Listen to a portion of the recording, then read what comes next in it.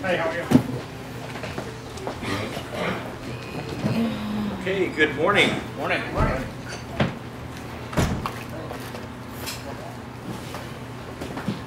Okay, we're going to be jumping around to a number of scriptures. We'll open first off in Matthew 16. Matthew 16. Matthew 16. Okay for you to talk.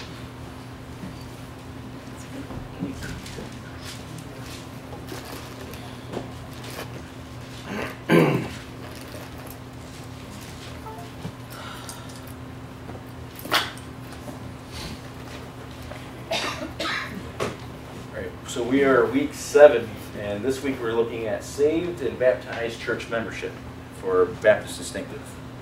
Uh, we are almost to the end. Uh, the next few are going to be multiple week. Uh, when we look at two ordinances following this one, uh, we'll probably take a week on each, and then on separation, that's going to be a little. We could probably summarize that one in just one, but it's going to end up being in three portions that we'll be looking at. Um, so this week, saved baptized church membership. So what makes this a Baptist distinctive? Why is this unique to Baptists and not to any other, I guess, uh, denominational church or mainline church as we would know it? What, what separates, why is it that the Baptists hold to this? Why is it, you know, why, why is this like, why is it a big deal? What, a question? Yes, I'm sorry. Okay, I'm sorry. I should, I should have asked more clearly. Okay, why, why is that the case? Why is it, why do you think that is? Uh, uh, Most of the other churches have some sort of a, a curriculum or uh, that you have to go through or a covenant that you have to swear to or memorize. It's, it's, it's, it, it does, it, it maybe implies salvation sometimes, but not necessarily. I grew up in a Presbyterian church and I had to learn the shorter catechism uh, when I was 12 years old. And I wasn't saved, but I became a church member. Um, most, I'd say almost three quarters, well, yeah, most, most any mainline denomination came from the Catholics. They broke away, they, they were part of the Protestant Reformation. So any Lutherans, Presbyterians, and anything that would branch off from that. And they all carried the same format as what the Catholics did because originally they didn't want, to- they just wanted to reform Catholicism. Uh, they didn't really see a problem with it outside of a number, well, in Luther's case, it was 99 issues that he had with it. Uh, and then Calvin and a few of the others had maybe a few others or a little less, but nevertheless, they still carried the same format. And so when you see or read about their history uh, in Europe, uh, they conducted themselves the same way as the Catholic Church would have.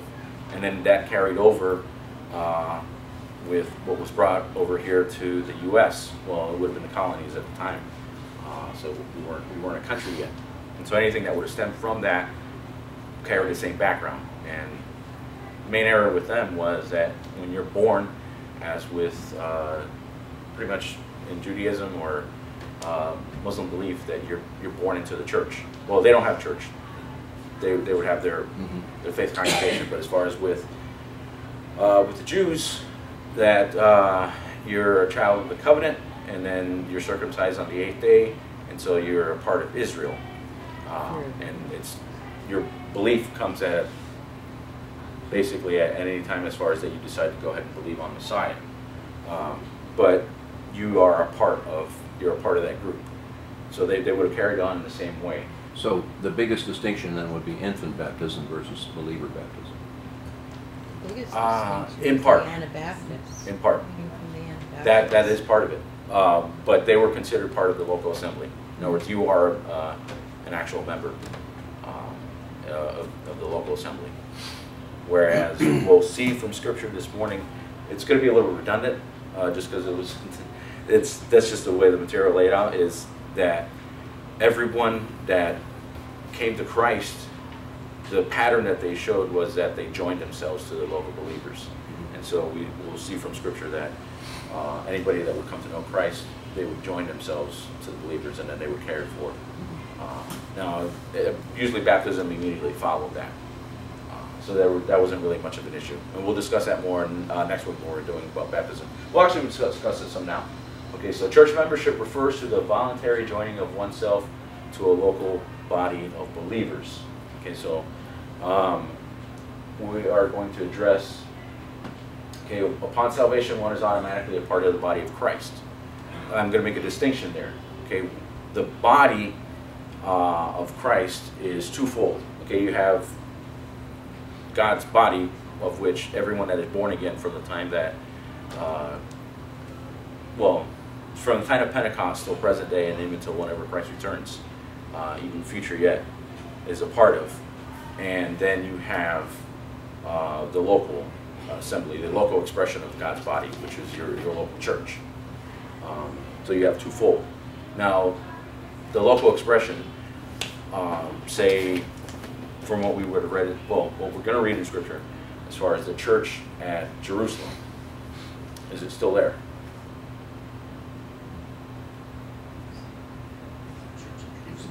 What?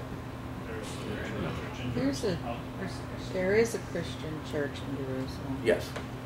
Is it the same one that was founded by uh, Peter and No. Probably not. No.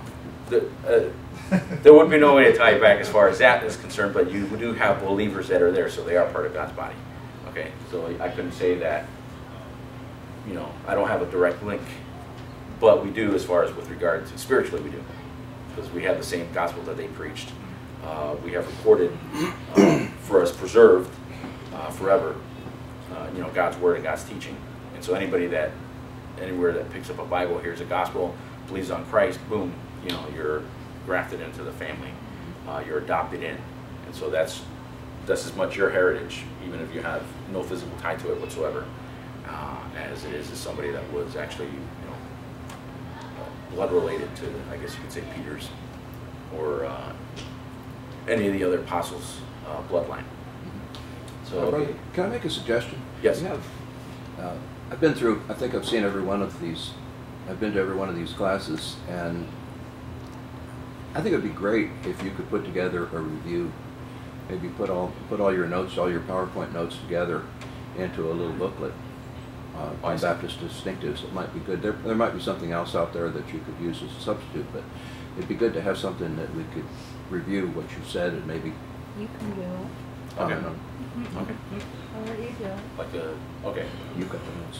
Why don't you do it for no, I can, I can do that. Mhm. That's not, that's not a problem. I'll go ahead and, uh, I'll, I'll work on that then. So, uh, if not by next week, then Lord willing, week after, we should be able to have something that, uh, you guys can have printed out where, uh, well, fill in the blank, would that be fine or no? Or, no, you just No, rather have, just- okay, just rather out. Okay, all right. Hi, good morning. We are in Matthew sixteen. Okay, so, Church membership refers to voluntary joining of oneself to a local body of believers, and then upon salvation, one is automatically part of the body of Christ. In Matthew 16, where I get you, where I had you all open to, Matthew 16, um,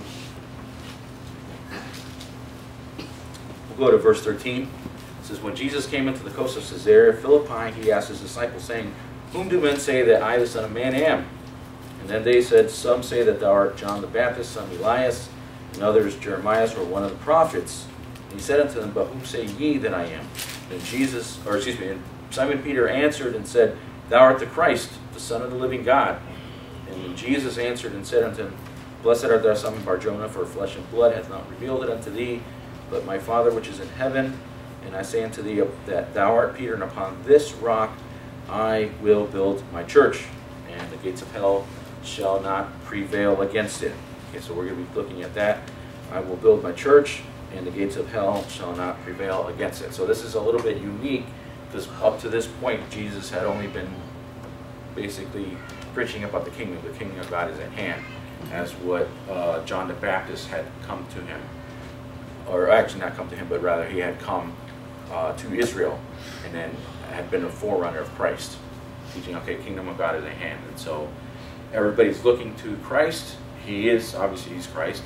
And then so they're expecting as far as what had been predicted about Christ, and that is that he's supposed to rule reign in Israel, right? He's supposed to be the one that not only delivers Israel, but he's supposed to take over as king.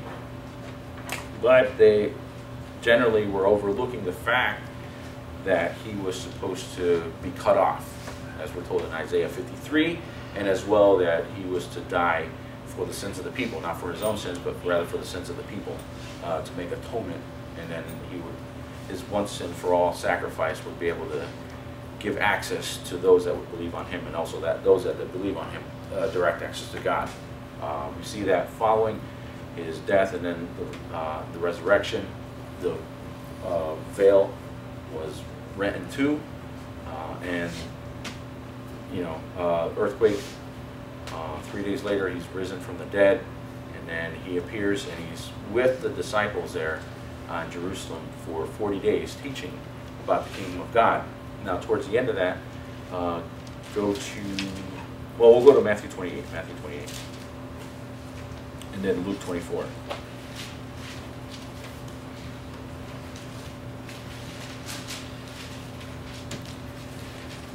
Matthew 28, 18.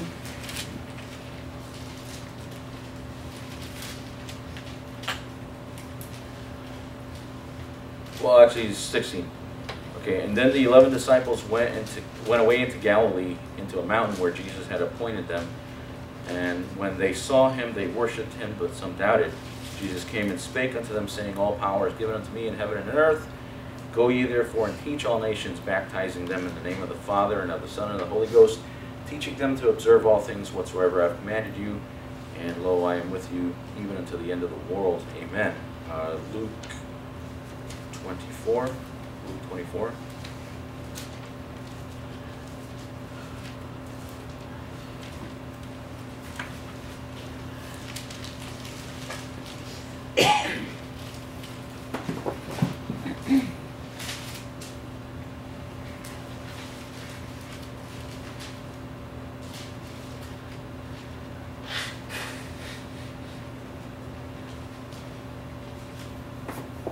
Uh, s- verse 44.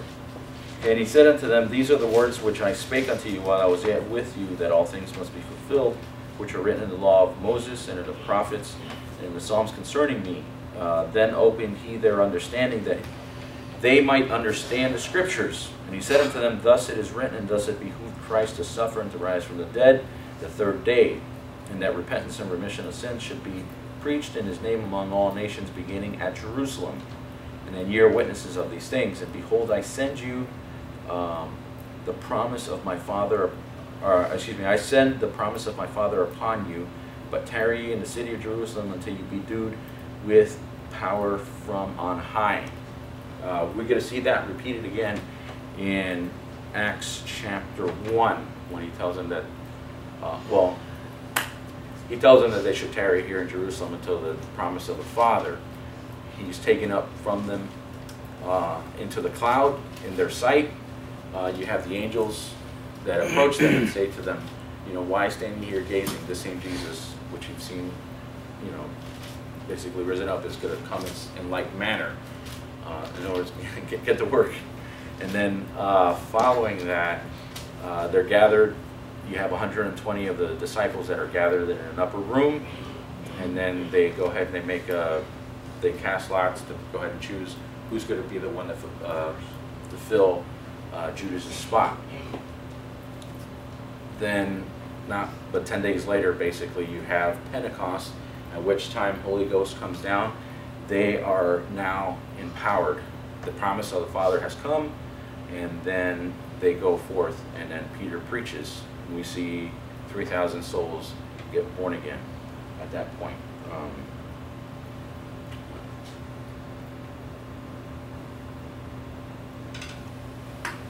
then go to Acts chapter 2, Acts 2.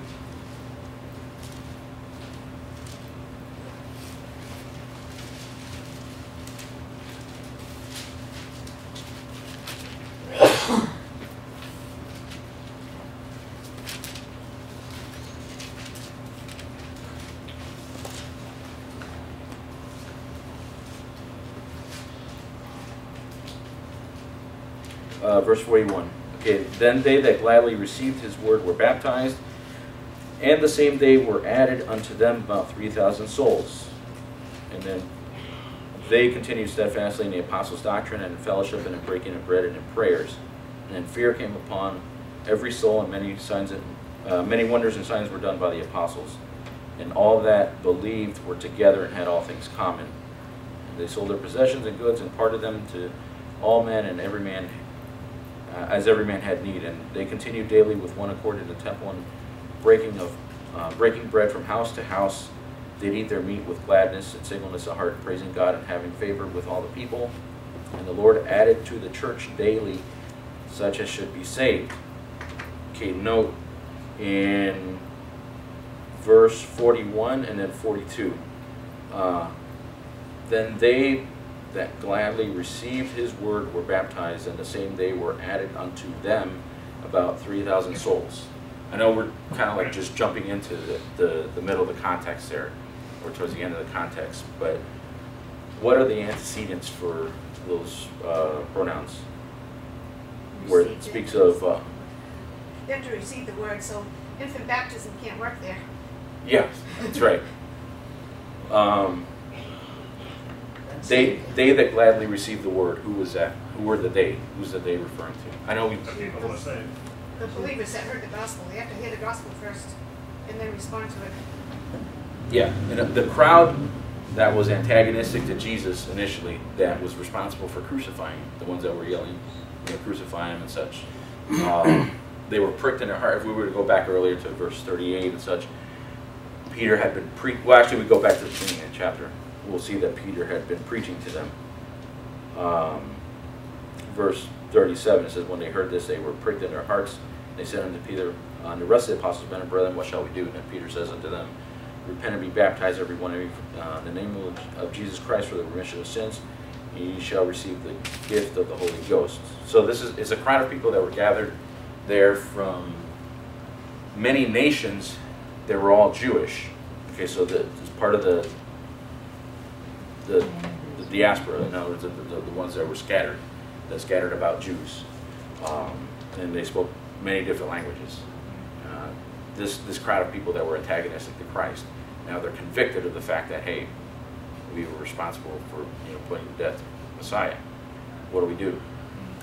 They, th- this group became believers, and it was about, says there that uh, 3,000 and they were added unto them. Now, who's that them? That second them that referring to, that was added unto. Those are the ones that were, uh, re- that received the Holy Ghost in the room. And I, I think one of the things we do- we don't, don't want to skip over here in Matthew 20, si- uh, 16, 18, it said Jesus is speaking to Peter, and he says, Unto thee I'll give the keys to the kingdom. And it's not to, the, not to the disciples, it's to Peter alone. And the Catholics take that to mean that Peter is the Pope. But what I take it to mean, I think this is right, in verse 15 of chapter 1, in those days, Peter stood up in the midst of the disciples, and, he, and he's addressing the church there, and uh, they brought in Matthias as the, uh, as the uh, 12th disciple after, after Judas. And that was the point where the Holy Ghost came upon the church. So Peter was the one that was leading the church at that time when the disciples all received the Holy Ghost. And I believe that was the keys to the kingdom.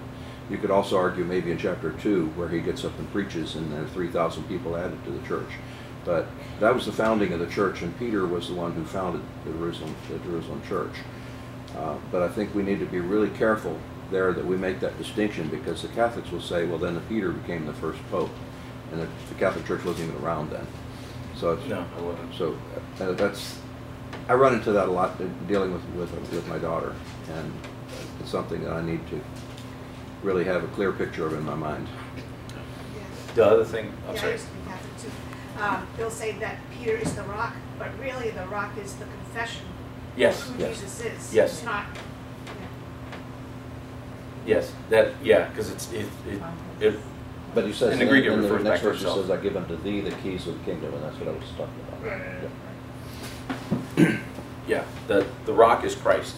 Mhm. Um, and then the issue that you would have with regard to if you wanted to say that Peter was the first pope, he doesn't give, or actually nowhere in Scripture does it give any as far as with regard to delegation or continuance, I guess you could say, of his apostolic powers or authority. In other words, when in Ephesians 4 we're told that uh, we're built upon the foundation, the chief, you know, Christ being the chief cornerstone, and then uh, the foundation of the apostles and prophets. Um, once the prophet, or excuse me, once the apostles already died off, there wasn't anybody else that carried on except for believers that took the word of God that was preserved. And so this is our apostles and prophets right here, not, not another human man that claims to be, you know, I'm apostle. We'll see that as well, like in Acts one. Well, actually, the uh, in Acts one, whenever they uh, voted in for Matthias, that they gave some criteria. It would have been somebody that would have accompanied with them. So nobody present day is going to have been alive during that time. So it's, it's not possible for that to have been the case. Um, okay, so the 41 added unto them. So the 120 that were gathered in the upper room, you got 3,000 that was added unto them. And then they, now that they, they all continued steadfastly in the apostles' doctrine and fellowship and breaking of bread and prayer. So now you have these individuals that were, they believed, and then they were baptized. There wasn't, uh, you know, wasn't any argument about that. Now, we're going to make this distinction a little bit. Uh, we're going to be more in depth about it next week because we're covering specifically about baptism. But why, why is that important? What, what's the big deal with that? public profession. Yes. It's kind of, uh, for me, the easiest way to remember, it's uh, if a person that's married, you know, they wear their wedding ring. Or at least they should. Uh, I understand if you're working around machinery. I used to work on aircraft, and then that was one of the things that you wouldn't want to have any watches or anything, because the thing is, it's easy to get your hand caught up in something, and then you know you can lose a finger, you know, or the, you know, lose your hand or whatnot. But um, thing is, if you're wearing a wedding ring, it's pretty much, hey, I'm, I'm married. It's a declaration. So with baptism, it's a declaration. One, Jesus has saved me. I'm born again. You know, I want to make a public confession of the fact that God has saved me. He saved my soul from eternal hell. And then two, also uh, is the fact that hey, I want to live for God. You know, uh, we're buried with Him in baptism and then raised to walk in newness of life. I have new life now, and I want to live in light of that fact. I want to live for God now, uh, even though previous life would have been total mess, anti-God as such. Uh, the fact is now that I've come to know Him, I want to live for Him. And so it's, it's a just public declaration. And so they, that was never really an issue. Uh, again, we'll see more about that uh, next week.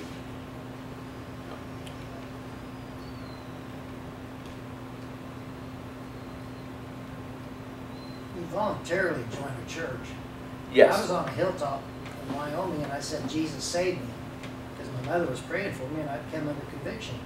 And I had a choice, heaven or hell. And I was scared. And I wanted, I said, I was scared and I said, Jesus saved me. Wasn't no church around, no church members, nothing. But the Holy Spirit came into me and I became part of the body of Christ right then. Amen. yeah. Then I come back home and all the Jehovah Witnesses and everybody in the world, the devil's trying to keep you from being, learning and doing, winning souls and, and then you, uh, pray about it and the Lord set my wife and I, got married and finally found a church that, it was a Baptist church and it taught how to win souls and, and it taught to be baptized. But our old rebellious state, "Oh, I don't need to be baptized, you know, we, we got, we don't like authority, even if the church should tell us what we need to do, you know. And you can sit here and say, well, this is just Baptist theory, but it's, it's authority of the Word of God, what teaches us. And I got baptized and, and we were taught to win souls. And, uh, so it just doesn't happen all at once. But we didn't become a member of the church till we got baptized. We didn't, we weren't sure that we wanted to do that. Because you know what? Because the devil doesn't want you to serve, you know. That's true. Yeah. And so this is a local church here. I've got my local church at home, but I've got all these body of Christ people that are my brothers and sisters in Christ in this church. And usually if I look for Baptists, I can find that. But anymore, not very, not so. There's a lot of Baptist churches that aren't even preaching the word of God. Yeah. It's You true. can't even go by that, but really, I think Ryan would say, I'm not ashamed to be a Baptist because we know what Baptists stand for. But, but anymore, that's kind of falling apart. yeah, it's true. Um, the joining of oneself to a church has always been, like you just stated, voluntary choice. No one's forced into it. You're not born into it. Fact is, the same way as salvation has always been a conscious decision made by an individual. Um, and that's the way God has always, uh, likewise, church membership. In fact, yes, I have a friend, in fact, I was just talking to her the other day, and she's looking for a church, and she went to a Baptist church, and she's already a Christian, been baptized. And they said if you want to become part of the church, you have to be baptized, even though she was already. So, you don't have to, I mean, why would they want her to be baptized again? was it scripturally? They don't believe it. But she's been baptized in Um, another church. Okay, no, what was baptism scriptural? Yeah, yeah. Okay. Uh, what I mean by that is, okay, did they, when she was baptized, was she like the- dunked underwater? Yeah, Okay, yeah. all right. Um, then that just might be just particular to them. Some churches operate that they have in their constitution that if you want to become a member, then you have to be baptized in. Uh, other churches are a little bit more lenient as far as like, hey, you have uh, what they call a statement of faith. In other words, if you have a church that you were a part of that was maybe of like faith, uh, they wouldn't have had been, I guess, maybe 100% equal to them. But as far as like, you know, do you believe in salvation by faith? So, um, with regard to salvation, you know, is it just by Jesus alone, or and not of works? And then, as far as baptism, if it's like dunking, where you're, you're immersed under the water, uh, that would be legit. I would consider that legitimate because that's that's what shows in Scripture, and then that would be accepted. Uh, but some churches, as far as that might just be particular to that local congregation, as far as safety. Yes. I think, I think that's, that's a case where we become too exclusive. If we, if, if we take that position as a church, that we can't accept somebody that's been believed, uh, that's been baptized somewhere else and believed in Jesus, uh, take their word for it, I mean, I, I think we get to the point where we're just, it's like double separation. And we're, we're separating ourselves from believers that we shouldn't be. Yes. She won't go back there because of that. I would, I actually would kind of find that weird. Um, we're gonna touch upon that here some. Um, you know, baptism has always been a conscious decision made following by salvation. So again, it's not gonna be an infant that's against their will, or actually, they're not even aware of what's going on. Same thing as with an infant coming in. And then, um,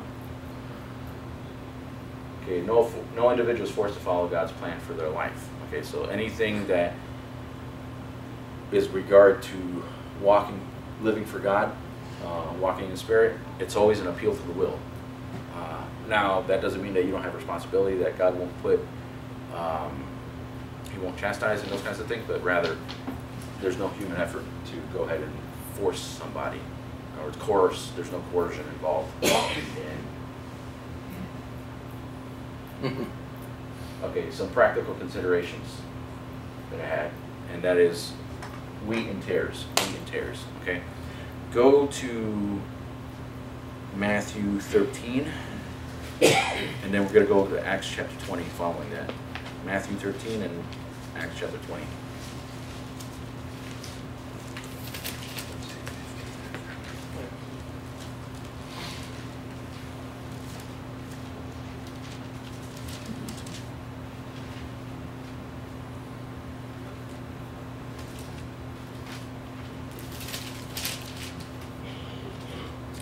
Uh, starting in verse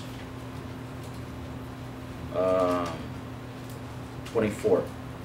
Verse 24. This is Christ speaking to his disciples, and he's giving them parables.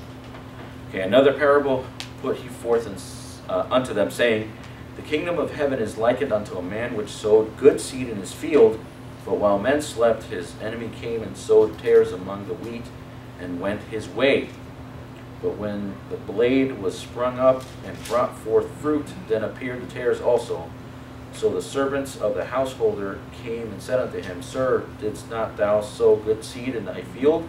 From whence then hath it tares? And he said unto them, An enemy hath done this. The servant said unto him, Wilt thou then that we go and gather them up? But he said, Nay, lest while ye gather up the tares, ye root up also the wheat with them. Let them grow together until the harvest, and in the time of the harvest I will say to the reapers, Gather ye together first the tares and bind them and to burn them, but gather the wheat into my barn. Okay, so here he's giving an illustration, and he's giving a parable with regard to uh, wheat and tares. So one's a weed, one's an actual good product. And so he says that there's going to be a mix of the two, and he doesn't want to damage the good product um, from pulling out the weeds, uh, lest you know going to be damage that be done. Go to Acts 20. Acts 20.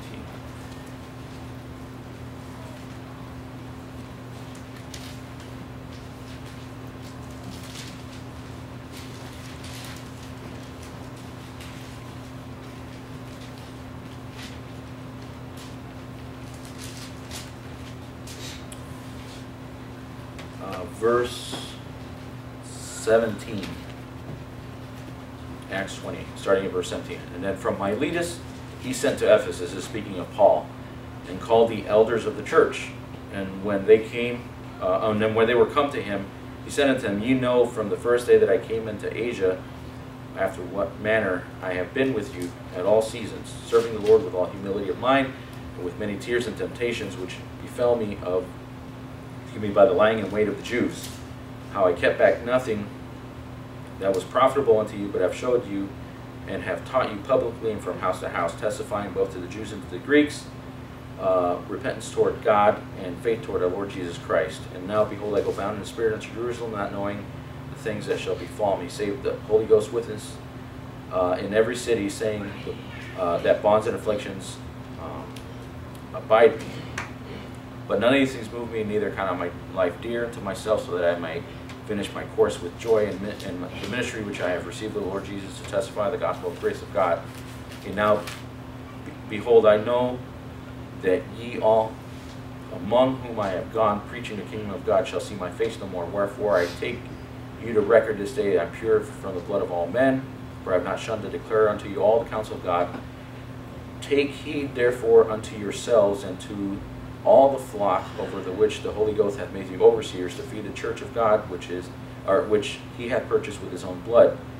For I know this, that after my departing shall grievous wolves enter in among you, not sparing the flock. Also of your own selves shall men arise, speaking perverse things to draw away disciples after them. Okay, therefore watch and remember. Uh, we'll stop there. Wheat and tares he says that there's going to be grievous wolves that are going to come in, and then he says also of your own selves. Now, mind you, who's he speaking to here? Who's his audience? The church. Well, and particularly the Ephesian elders, yeah, church, but it's the, it's the pastors, the leadership of, of, of the churches there in Ephesus. And so you would think, okay, wow, wait a minute. How are these guys, the ones that are going to be leading us, going to be the ones that are going to turn? I mean, not all of them, but there's going to be some of them that are going to turn, he says. Uh, and they're going to, how's he put it here? He says that um, they're going to speak perverse things to draw away disciples after them. Okay? So they're going to twist uh, God's word so that they could get a following after themselves. And besides the grievous wolves that are already be coming in. So take heed. Um, as much as I would love to be able to go ahead and say that, hey, there's hundred percent like purity, uh, and again, that, that that that does not diminish our responsibility to be alert and aware. Okay, that does not uh, negate the fact that we have to be ever conscious as far as with regard to our own selves and uh, you know obviously the conduct of others that are around us. Uh, the fact is, God did say, okay, there are going to be some that are going to infiltrate. There are going to be grievous wolves that come in from outside, and there's also going to be some that turn away from among your own selves. Uh, I don't know, honestly, here who's born again, because, and again, uh, I know I'm born again because I've trusted Christ, uh, and all I have to go by is a person's confession of faith, their testimony, as far as whether or not, you know, um, they proclaim whether or not they've trusted Christ or not for their salvation. But I don't know their heart. I can't look upon their heart. I don't know, you know. I can look on their actions, but even then, the fact is I could be fooled. Uh, so I, again, I don't know who's, who's a believer, who's not. Now, we should obviously strive for purity. We want to have uh, holiness because that's that's what God's striving for. And the fact is, it's it's His glory that we're working towards. But uh, the fact is, I don't know who's going to heaven or not. All I have to go by is a, what a person tells me. And again, I'm limited because I'm human. I can't look into a person's heart. Uh, so I, you know, you just go by what their testimony is. Now, again, that doesn't mean that you don't have regulation in place with regard to conduct. Uh, you know, everybody should abide by conduct. We should strive to be holy. Uh, you don't want to allow wickedness to go run rampant in a church because that is, I mean, that's God's God's plan. Not the wickedness run rampant, but rather that we should, you know, we should be a light unto the world. Uh, and you know, even even our sanctification, that's God's will. Uh, we're told in First Thessalonians. Uh, uh, but the fact is, at the end of the day, you know, and then God knows, you know, whether you're born again or not. Uh, second consideration. Okay, uh, God's glory is our ultimate goal. God's glory is our ultimate goal. Uh, we have, um, well, okay. God's glorified in many ways, but ultimately, primarily, it's going to be by our, our faithful obedience. We should seek to live by faith, and we should seek to lovingly obey uh, His commands. In that, Christ said He's the one that's going to be, um, well, I guess touching upon, this is going to touch upon a little bit on our third point. He's the one that's going to build the church. I, I need His strength and His power.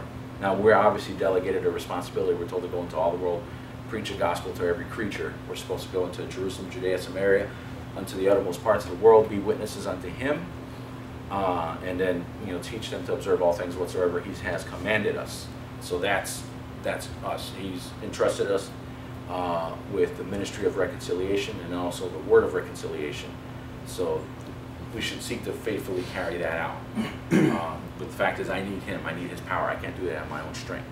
Uh, that's too great a task, uh, and it's it's it's a supernatural thing, really, because the fact is, it's the Holy Spirit that convicts men of sin, righteousness, and judgment.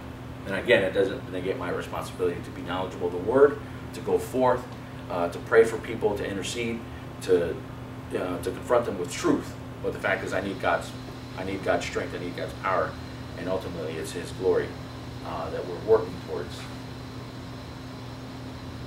So, Chuck has a question. yes. Um, When uh, the Lord is in control of our life, but people can tell, other Christians can tell that. So, uh, you know, people that are not in fellowship with the Lord, you can't tell. You know, You just have to go by the word. But when you, a person's heart's right with the Lord, and they're serving the Lord, doing, the- obeying the Lord, you can tell that they, their uh, affection is real. They're real. Yeah, when a person's obedient and Yeah, they're, you they're see the fruits of the Spirit in their life, God's love, uh, you can definitely tell your spirit bear witness with their spirit. yeah, a person that's not being obedient, faithful to the word, or living out, then that makes it kind of difficult. Yeah. You, you- can only really just go off on their word. Um, With regard to that, also, we should admonish one another uh, to provoke unto love and to good works. Uh, in other words, a believer that is not, you know, they can only be a believer, but they're not walking right. Uh, we're to come alongside. Uh, basically, hey, look, listen, this, this your life, your your life, you know, you've been given new life, and it's when you stand before God, you know, it's going to be waste. And so we, you know, that's what we want to admonish them with regard to the fact is, it's like, don't waste your life. Don't waste it living for the flesh. Don't waste it living for yourself, um, for this world. Uh, the third consideration, practical consideration, Christ builds his church. Uh, I don't know if you, can y'all read some of that or no? I know it's kind of smaller. letter. Looks like the trail of, Okay, is it from the trail of blood? yes, it is. Okay, it's a Okay. chart from the trail. The Okay. bottom should have something about the Anabaptists, right? Yes. Okay, so you have, all uh, starting roughly around 100 AD, moving forward to, I guess you could say, present day. And so you have Christians, the chart kind of lays out as far as historically what would be considered your Baptistic groups, even though they would have called themselves Baptists. Uh, it would just be basically Bible believers. And then you have where around 313 Catholic Church starts, and then all the branches off of that. And so now there's no direct link. I'll just put that. There's no direct link to back to Peter. All right, we don't have that. Nobody has that. Well, God does, but we don't. You know, I can't say okay, this is such and such from this, you know, this age. But the fact is, all through the ages, there's always been believers that have taken the word of God, sought to live it out, and then carried out His commands. Uh, and they were called by many different names. You know, usually they just sought to seek, you know, to live a quiet and peaceable life, uh, being trying to be obedient to the word of God. And quite often they were persecuted, uh, run into caves, and uh, actually a number of them fled over here to the New World, and then started fresh here in the New World. But uh, there's always going to be believers. Uh, Christ is always going to build His church, and He's the one that's building it, not again us. That's not to, the, to negate our responsibility, but He's the one that's going to carry out, and we need to seek to be faithful uh, in, in being one, taking heed to ourselves first off, uh, that we are right, uh, so that we continue to be right, and then we can propagate truth uh, to others. Uh, does anybody have any questions? Yes, sir.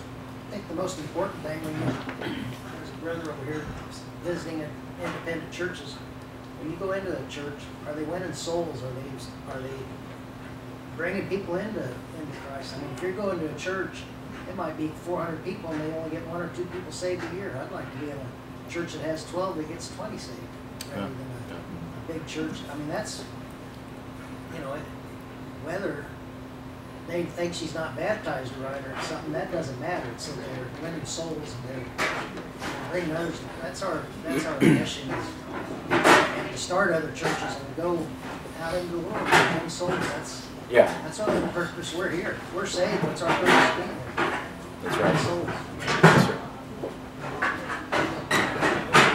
Well, Next week, we'll be looking at two ordinances, so uh, we're dismissed.